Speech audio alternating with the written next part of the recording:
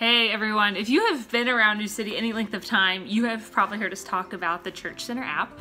We mention it pretty much every Sunday.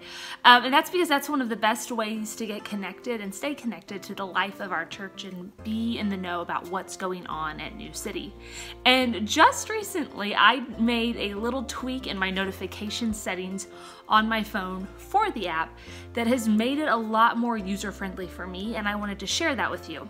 As you probably know, um, just navigating to the messaging in the app is a little tricky and it can be hard to find messages that you receive. And so here's a trick I made on my phone. Um, I'm sorry, an adjustment I made on my phone that might help you find messages easier.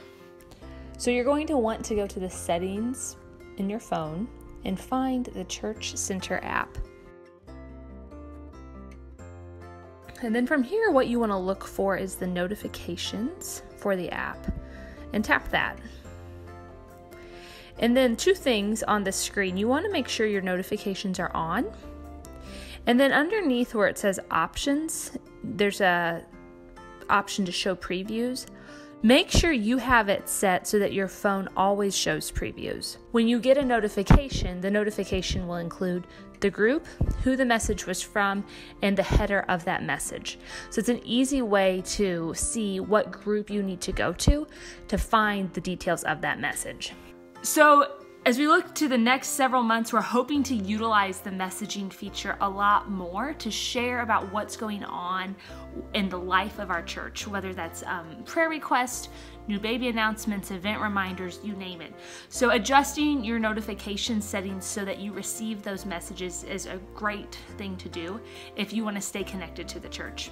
And if you don't have the app, now is a great time to go download it. You can find it um, in any app store for your phone. But if for some reason you're unable to access your phone or you don't have it handy, you can also go to Church Center Web through our website at newcitycincy.org. And there's a link to the Church Center page, our Church Center page at the top of our website. And through that, you can navigate to messages too. But the app is a lot more user friendly um, and just handier to access.